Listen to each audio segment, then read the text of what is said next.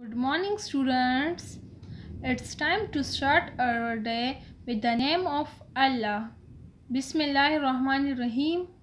I am your general knowledge and Islamiyat teacher. Today we will learn second topic in general knowledge that is healthy habits.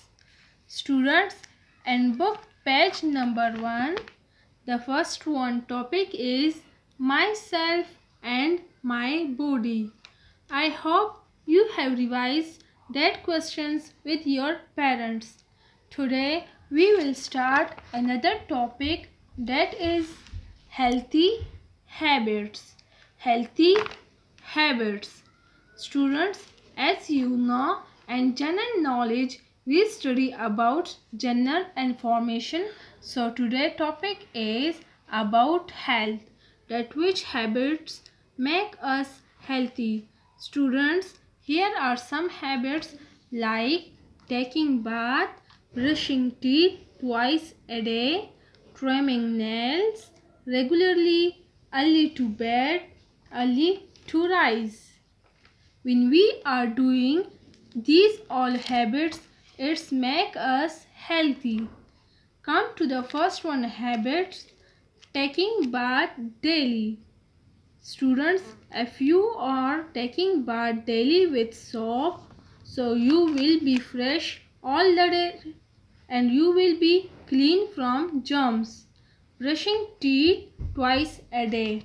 Twice a day mean two time. One time at morning when you are wake up and second time at night before going to bed. Students, when you are regularly brushing your teeth twice a day, then your teeth will be protected from cavities. Trimming nails regularly.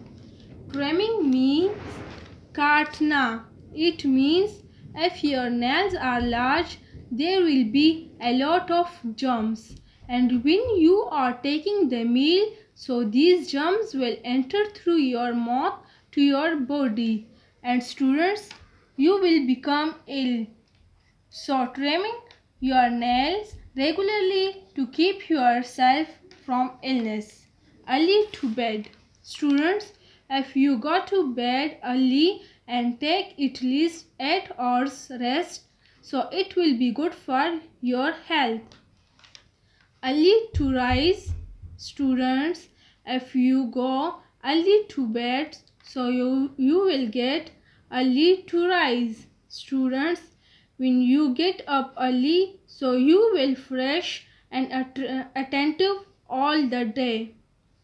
Students, you should all follow these habits. Students, there is a poem related to this topic.